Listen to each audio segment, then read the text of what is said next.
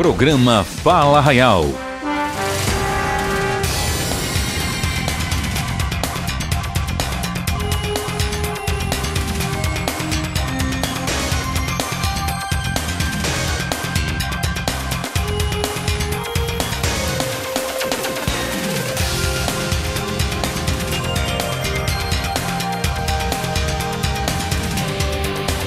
Programa Fala Arraial.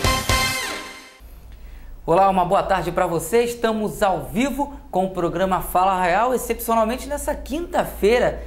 Você que está acostumado a acompanhar o Fala Arraial sábado ao vivo, meio-dia, inédito. Hoje nós estamos no ar com as principais informações de Arraial do Cabo e também porque hoje começa a série de entrevistas com os vereadores aqui da cidade.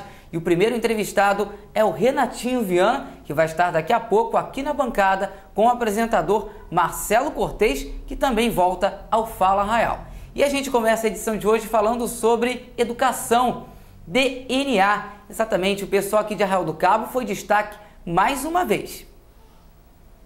Desafios complexos, enigmas, pistas, tudo isso faz parte do DNA Desafio Nacional Acadêmico um desafio de conhecimento realizado por meio de um jogo virtual que leva as equipes a se confrontarem com diversos enigmas. São assuntos variados, como atualidade, conhecimentos gerais, história, curiosidades, que despertam nos alunos raciocínio rápido. Esse ano, o Colégio Francisco Porto de Aguiar participou do desafio com quatro equipes. Entre as quatro, uma equipe de alunos do ensino médio foi a grande vencedora no ranking do estado do Rio de Janeiro. Foram 690 escolas que participaram do DNA no estado do Rio de Janeiro na primeira etapa. Na segunda etapa, 570 escolas ainda estavam na disputa. Entre tantos competidores, o Colégio Francisco Porto de Aguiar levou a melhor, ficando em primeiro lugar. Ah, é um, jeito da gente adquirir mais conhecimento, né? E ir melhorando, assim ter uh, um jeito melhor de aprender as coisas. Eu aprendi muito, eu aprendi bastante com o DNA. O desafio aconteceu no dia 22 de junho, onde foi realizada a primeira etapa, e no dia 29 de junho, onde todas as pistas descobertas levaram a um só enigma. O DNA estabeleceu 36 horas na primeira etapa, para que 110 questões fossem resolvidas. Os alunos cabistas solucionaram tudo em apenas 7 horas. Foi um desafio onde eu me desenvolvi bastante, não só em casa como na escola também. Eu tive muito desenvolvimento, aprendi muito mais, eu gostei muito. Esperava ficar em primeiro? Olha, não vai ser soberbo, mas eu esperava assim, pelo empenho, pelo empenho da equipe, que a equipe estava predestinada a tentar o melhor e conseguir. E nós conseguimos. O desafio é pré-requisito para aqueles alunos que querem participar do programa Ciências Sem Fronteira, que dá ao aluno uma bolsa para estudar no exterior. Olha só, entre vários desafios, a gente encontrou um bem diferente. Rony, explica aqui pra gente que desafio foi esse do ré aqui. É, eram três ré, um ré grande, um ré pequeno e esse aqui, que é o ré médio. A única coisa que nós tínhamos era essa imagem e sabíamos que eram sete caracteres. Mas entre outros desafios tinham tradução de palavras em alemão, é, palavras em russo, muitos idiomas, muitas coisas muito mais complicadas. Isso era mais uma brincadeira mesmo, que todas as outras eram muito mais complexas. E era o remédio. Esse era o remédio, que foi uma brincadeira e chegamos a ficar chateados quando vimos, passamos 40 minutos para descobrir isso pelo nível da dificuldade. Os alunos da equipe vencedora e as professoras responsáveis receberam nossa equipe com muito carinho. Ana Paula Góes, Miriam Brum e Maísa Fialho foram as grandes incentivadoras e também participaram do desafio junto com os alunos. Eu acho que é um estímulo a mais para o professor e para o aluno. Gosto muito. E ver o Francisco Porto aí em primeiro lugar. Ah, é uma alegria muito grande, né? Sempre muita, muita alegria para gente. Muito bom. O Francisco Porto de Aguiar representou com vontade, sabedoria, inteligência e muita rapidez. É, e agora a gente fala sobre esportes aqui no programa Fala Real. A parceria entre o Drible Legal e o SEAC continua dando certo.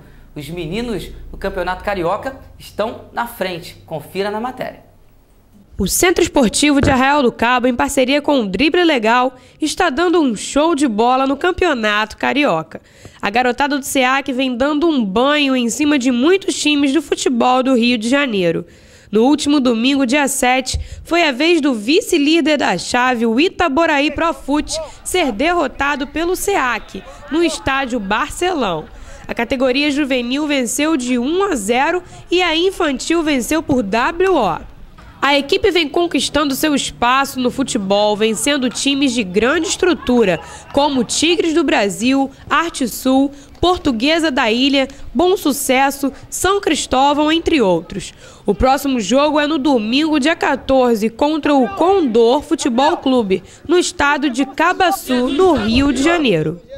Comigo Jesus está. Eu tenho Jesus para mim. Eu tenho Jesus para mim. Contra mim ninguém será. Contra mim ninguém será. E ontem, na Câmara Municipal de Vereadores, aconteceu a posse do novo presidente do Movimento Negro de Arraial do Cabo. A festa teve a presença de, de diversas personalidades aqui de Arraial do Cabo e a Maria Antônia Casarões passou por lá para trazer as notícias para a gente. A noite de terça-feira, dia 10, foi marcada com uma grande festa no plenário da Câmara Municipal. A solenidade aconteceu para dar posse ao novo presidente do Movimento Negro de Arraial do Cabo. Na mesa, autoridades cabistas, líderes de movimentos da região dos lagos e líderes religiosos. O Movimento Negro de Arraial do Cabo já atua há 20 anos na cidade, divulgando e resgatando a cultura afro-brasileira. A noite contou com apresentações de jongo, dança características da cultura negra. O grupo fez um grande show com tambores, música e muita dança.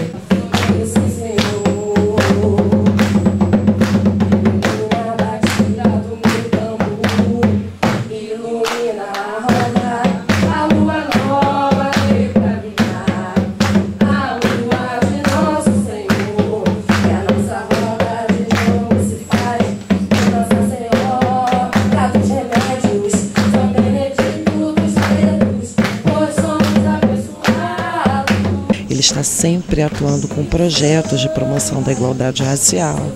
Hoje focamos na educação, saúde e na área de empregos e é tudo tudo nosso trabalho é focado no recorte racial. O Movimento Negro de Arraial do Cabo elabora festas, projetos e tudo que ressalta a cultura afro-brasileira. A partir do segundo semestre de 2013, o novo presidente do movimento é o Leandro Clemente dos Santos. É, para mim, eu fico muito feliz e honrado em poder, como é, militante do movimento negro há mais de 20 anos, em poder ter essa confiança dos meus companheiros e poder honrar com tudo isso. É, e ainda, ainda falando sobre o movimento negro, está acontecendo nesse momento, lá no Cinema Municipal, a segunda conferência de promoção da igualdade racial de Arraial do Cabo. E nós demos uma passadinha hoje pela manhã para acompanhar o início do evento. A segunda conferência de promoção da igualdade racial está sendo realizada durante toda a quinta-feira no Cinema Municipal e tem previsão de término para as 17 horas com o objetivo de debater sobre as políticas públicas no âmbito da promoção da igualdade racial. Um outro intuito do evento é ouvir diretamente as comunidades e construir soluções para possíveis reparos em problemas como a exclusão social existente desde o passado.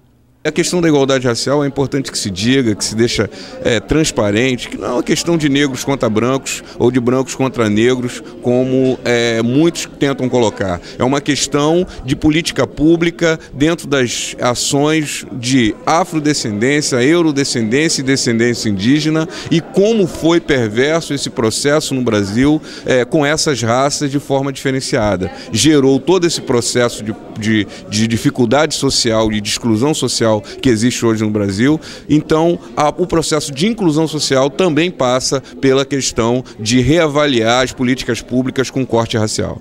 O presidente e a vice-presidente do Movimento Negro de Arraial do Cabo participaram do evento e deixaram sua contribuição apresentando suas propostas.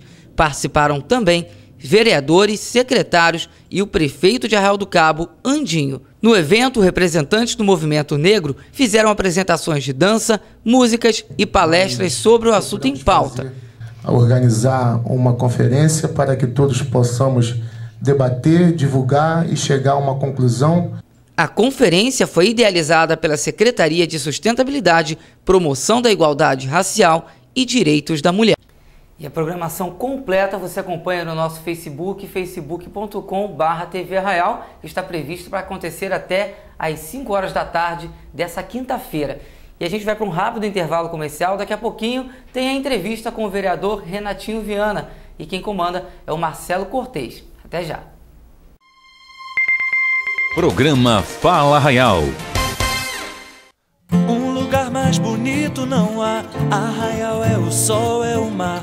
É cidade de gente feliz, de gente feliz. Qualidade de vida é assim. Arraial que foi feito pra mim. E daqui eu não saio jamais.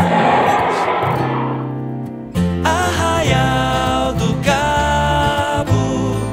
São praias e praias, não dá pra esquecer de você.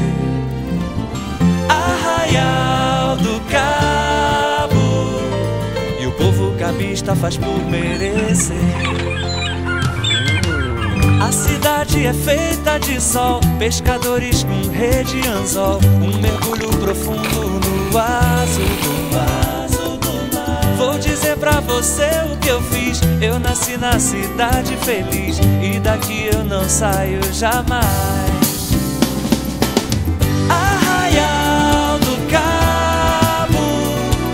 São praias e praias, não dá pra esquecer de você. Arraial do Cabo e o povo cabista faz por merecer.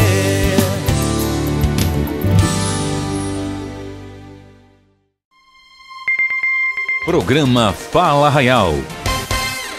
É, boa tarde. Depois de muito tempo, estou voltando aqui ao balcão do Fala Real e hoje nessa série de entrevistas que começa com o vereador Renatinho Viana. E parece que, de fato, o brasileiro encheu o saco do desmando, do descaso dos políticos desse país com o nosso povo, né?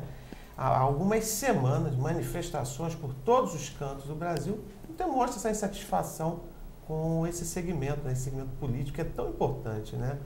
E hoje recebo o Renatinho e queria saber dele. Renatinho, como é que você se depara com esse momento? Hein? Qual é a sua opinião sobre essas manifestações?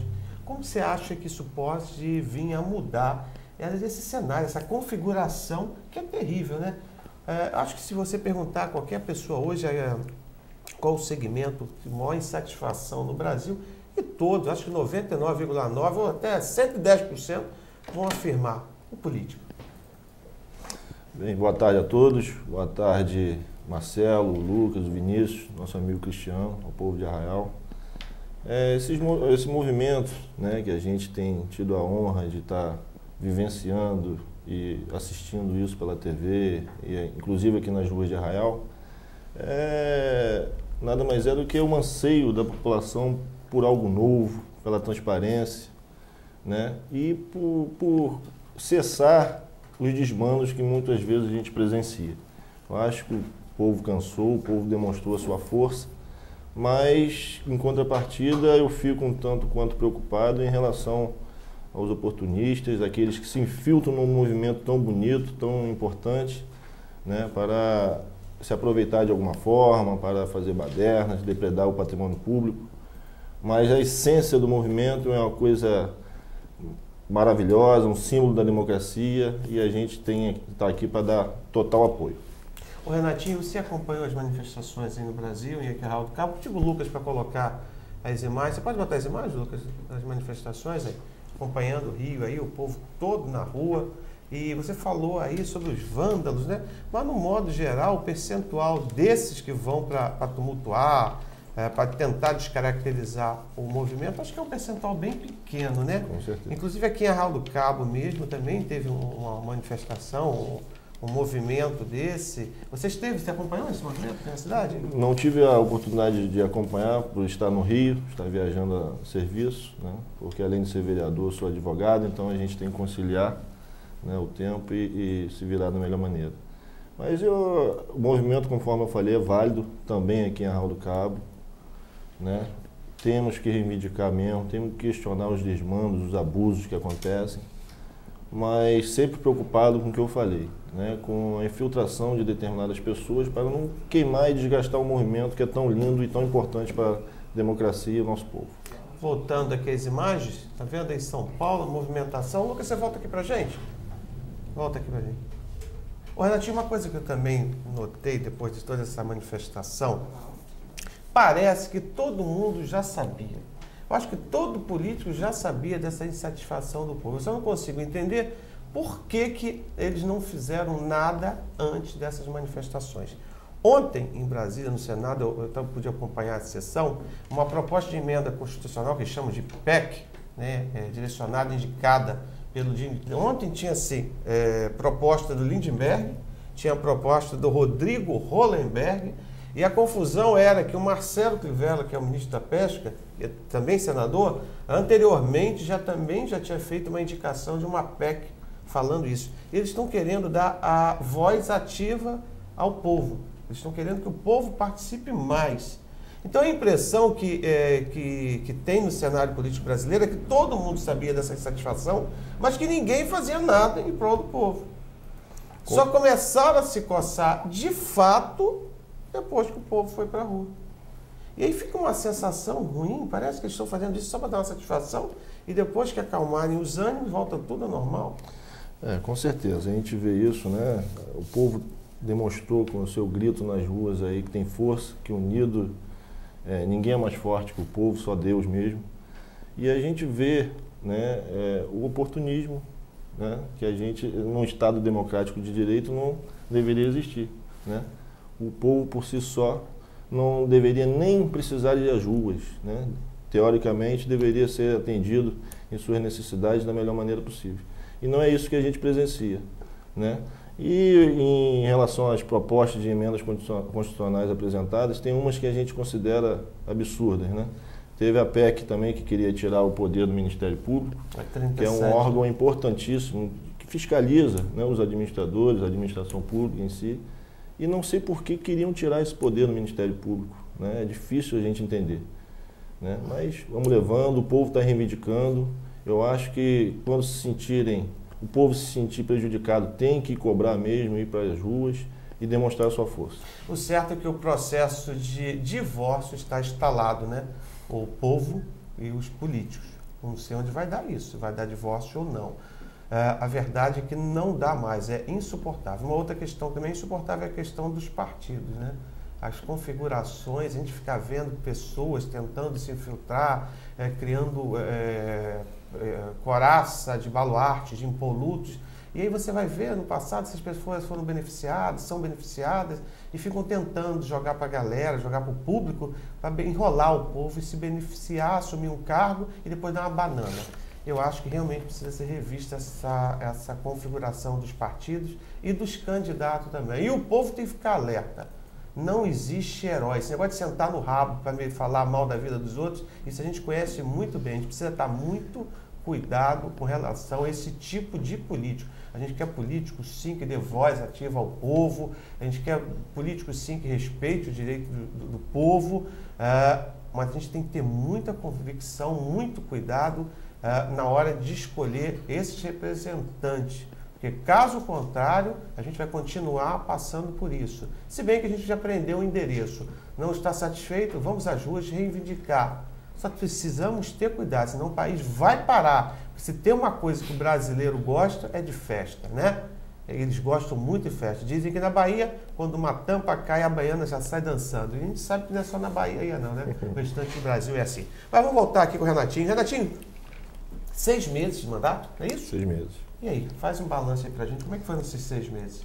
Bem, a gente procurou exercer nosso dever da melhor maneira possível, né? buscando sempre atender os anseios da, do, da população cabista.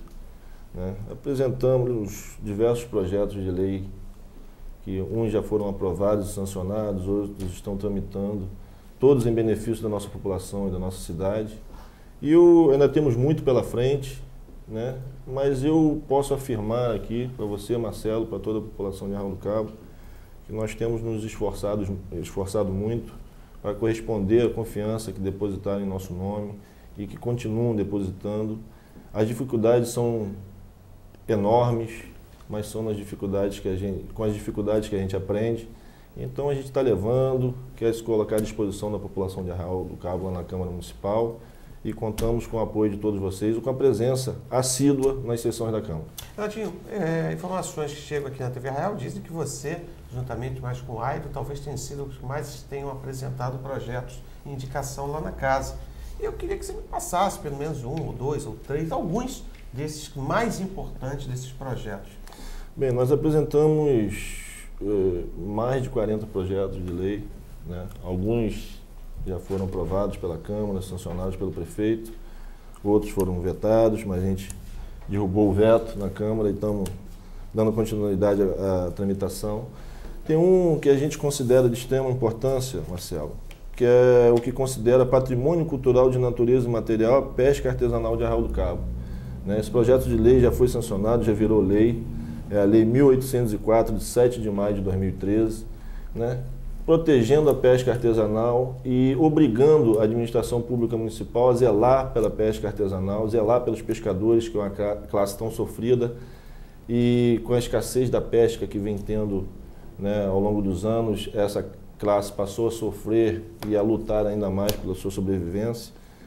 O público, a partir de agora, é obrigado a dar total apoio e incentivar a pesca artesanal, evitando que a nossa tradição se acabe, que as técnicas de pesca tradicionais se acabem e que a nossa cultura seja preservada acima de tudo. Quando você fala dar apoio, ajudar, preservar, como seria isso? É, além da estrutura de trabalho, né, que envolve desde a marina dos pescadores, né, até incentivos, né, seja ele na área é, social, seja ele na área profissional, né, em todo sentido de implementar né, políticas que, que ajudem realmente essa classe que a gente sabe que muito, uma grande parte da nossa cidade é descendente de pescadores, eu sou descendente, nossa família, creio que o Cristiano, todos aqui tenham em suas famílias pescadores, então nada mais justo que a gente dar aos pescadores o que ele merece, dignidade. Tá certo. Mais algum outro projeto interessante aí pra gente? É, tem um projeto de lei que ainda está tramitando, né, que vem é, beneficiar a população cabista também, né, diz respeito à transparência, né, institui a política de dados abertos e acesso à informação na administração pública, direta e indireta, e na Câmara Municipal de Arraio do Cabo e da outras providências. Mas, Natinho, inclusive, eu, aproveitando esse gancho seu, eu vou pedir para o Lucas e o Vinícius participarem aqui com a gente. Tem um, um, um, telespectador da TV Arraial, e ele participa no nosso Face também, que é o Rodrigo Simas, e ele mandou uma pergunta para você, e a gente gostaria uh, de fazer, transmitir essa pergunta aqui Vou chamar o Vini, o Vini participar. Vinícius. É, a pergunta é do Rodrigo Simas, né? Ele pergunta ao vereador Renatinho, ele na verdade mandou um texto dizendo assim, a lei da transparência pública, número 12.527, 18 de novembro de 2011, e a complementar, número 131, de 27 de maio de 2009, é, foram citados aqui nesse e-mail. A prefeitura do município, segundo ele, não está cumprindo a lei, nesse caso cometendo um crime contra a sociedade, pois é a maior arma contra o povo é essa, né, que eles podem lutar contra a corrupção. E a Câmara Municipal também está cometendo o mesmo crime, pois não divulgou nada dos seus gastos. Qual a posição do nobre vereador sobre o tema e o que pode ser feito para resolver? Lembrando que todos os órgãos precisam demonstrar suas contas na internet, como, por exemplo, a Ecatur, o Porto, a Isaac, FIPAC, e nenhum desses também é, cumprem com isso. Né? Como resolver esses problemas da sociedade que clama pelo fim da corrupção e impunidade, já que o Poder Executivo e Legislativo também cometem o próprio crime? Bem, é, respondendo à pergunta do Rodrigo Simas, é um militante de Arraio do Cabo, louvável a preocupação dele, apesar de uma ponta de radicalismo sua pergunta. Né? Não, acho que a Câmara Municipal não está cometendo o mesmo crime, conforme ele comentou aí. Se ele participasse dos trabalhos da Câmara, ele veria, veria que a gente protocolou esse projeto de lei, que, se Deus quiser, vai virar mais um instrumento em benefício da transparência e da moralidade pública. E eu gostaria de, inclusive, Marcelo, aproveitar a oportunidade passar aqui a cópia do projeto de lei na íntegra, para que você leia depois. Né, o projeto de lei 049 de 2013, né, já já foi já está em tramitação e creio que na melhor na melhor oportunidade que tivermos em uma próxima sessão assim que voltarmos do recesso essa lei seja aprovada na Câmara e tenho certeza absoluta que o prefeito não vai se opor a sancionar a nossa lei, nosso projeto. Vamos divulgar, Rodrigo. Obrigado pela sua participação. Participe sempre. Você está sempre mandando pergunta aqui para o Fala Real. Continue, isso é muito legal. E com relação Parabéns, a esse Rodrigo. projeto, a gente vai publicar sim. Vamos mostrar aqui no Conexão Câmara. Vamos deixar isso aqui para que todos possam ver. Ô, Renatinho, esses seis primeiros meses aí da Câmara foram seis primeiros meses movimentados. Né? Houve o afastamento do presidente, uma nova presidente assumiu, a Maria Amaral. Como é que foi esse movimento lá? E como é que foi a Maria? Como é que agora está retornando o piolho? Como é que isso gerou? ah, como é que foi lá dentro? Bem, eu vou começar a falar desde o início. Né? Eu não, não, não votei no Walter Félix para a presidência da Câmara. Né? E quero aqui deixar bem claro que não teve nenhuma questão pessoal, foi por posicionamento mesmo. Né? E no período que ele foi presidente, não me senti também discriminado. Né? A gente teve um bom relacionamento né? de, de- como vereadores ali dentro daquela casa. Né? Foi afastado por uma determinação judicial. Né? A Maria assumiu. Para mim foi uma surpresa muito grande a Maria, porque eu não tinha muito relacionamento com ela, mas passei a admirá-la, passei a gostar da Maria como uma pessoa séria, uma pessoa que, que eu passei a gostar muito.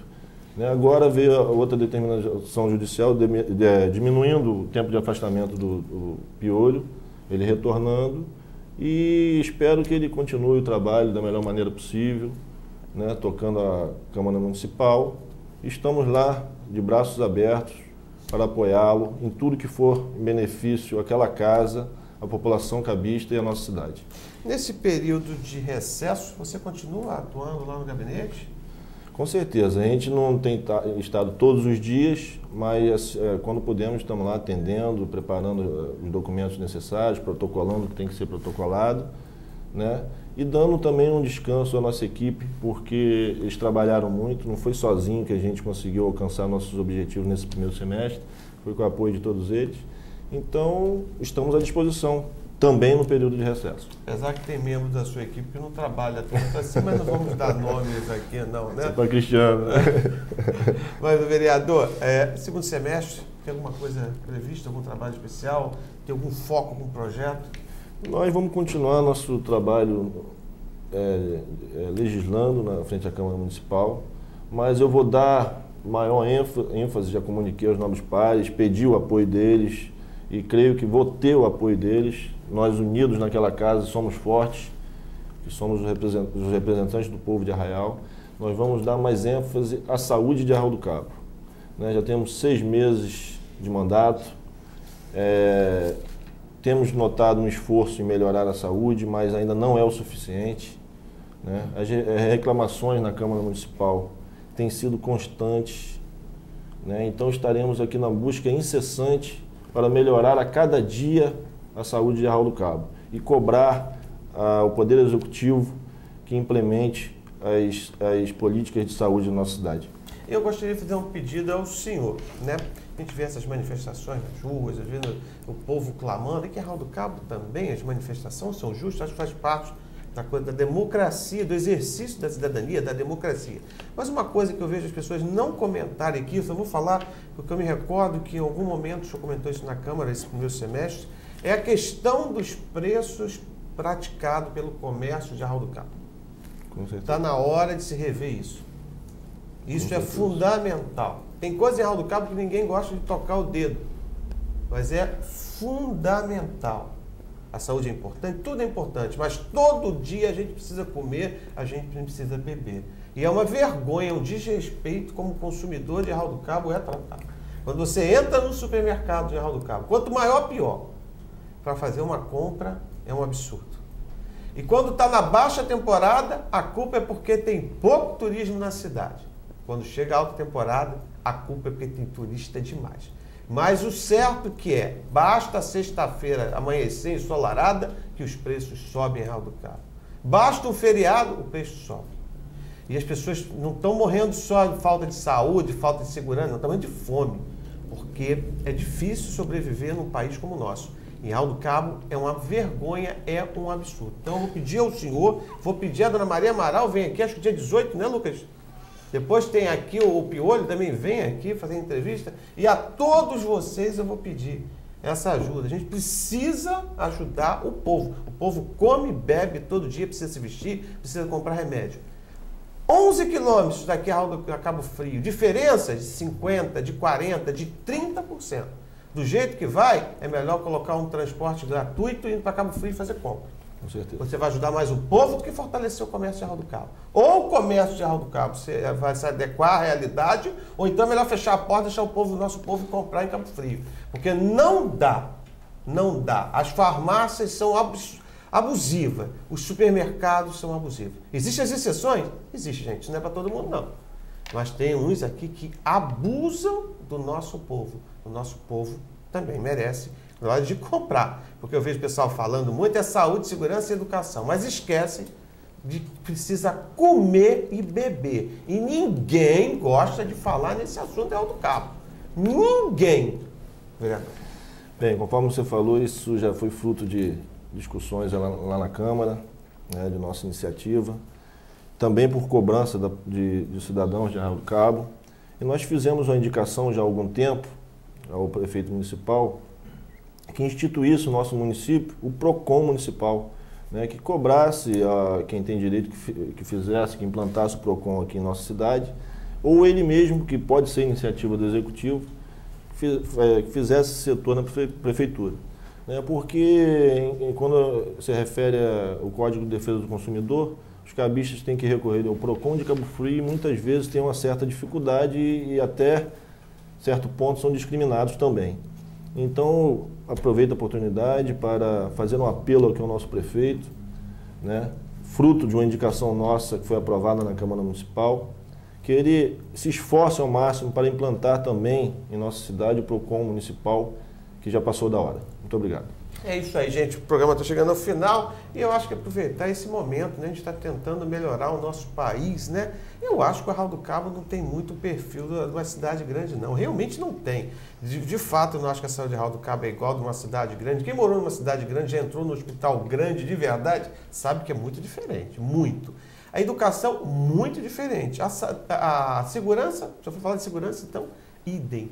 Né? Se a gente for comparar de fato, é muito grande. Mas de qualquer forma, a saúde tem que melhorar muito no Arraial, a educação tem que melhorar, a segurança, lógico, a gente sempre quer o melhor, né? A gente tem essa, essa coisa, a gente quer sempre ver o melhor, sempre. Eu acho que cada um busca o seu melhor sempre. Então vamos tratar melhor também o nosso povo. O comércio de Arraial precisa melhorar o produto, o atendimento e principalmente o preço. Porque assim o nosso povo também vai ter condições de comprar aqui e o desdobramento é sempre melhor, evoluindo. Então eu peço, vereador, mais uma vez, nos ajude, ajude ao nosso povo. Na próxima semana eu vou entrevistar a ex-presidente da Câmara, né? Teve aí no primeiro semestre, assumiu a presidência no lugar do Piolho, a Maria Amaral, que vem aqui contar para a gente essa experiência também nesses seis primeiros meses, esse primeiro parte desse mandato de vereador. E depois vem o, o Piolho. Então eu vou agradecer ao Renatinho, meu cara, volte sempre. Fica em Raul do Cabo ainda, vai tirar um diazinho de férias? É, eu pretendo dar uma viagemzinha com a família do dia 17 ao dia 21. É, é mas eu passei aqui pertinho mesmo, no Hotel Fazenda, só para espairecer e fazer uma média também. As sessões voltam que dia? Se não me engano, dia 1 Então é todo mundo convite. Eu queria, Marcelo, interrompendo, aproveitar a oportunidade para desejar um feliz aniversário para meu pai, que está fazendo aniversário hoje, né? 61 anos e, e, estender a todos os aniversariantes desse dia também de Arraio do Cabo. Muito obrigado. Aproveitar mandar um abraço ao ex-prefeito Renato Viana. Renato, feliz aniversário, vida longa! É. Aproveite muito, tem muita lenha ainda para queimar. Saúde e paz para você, o resto eu sei que você corre atrás. Deixar um beijo a todo mundo, estava com saudade de vir aqui participar do Fala Real, que cada dia está melhor, né? O Vinícius Pereira, o Vini Pereira e a Maria Antônia Casarões e o comando do Lucas Fialho, o amigo do Ander Lambert. Ander Lambert, você conheceu o Ander Lambert? É, o cara é um fenômeno, né? Agora ele está concorrendo a prêmios. É, ator coadjuvante não, é protagonista mesmo. Principal lá em São Pedro das Aldeias. É o homem das Astúrias.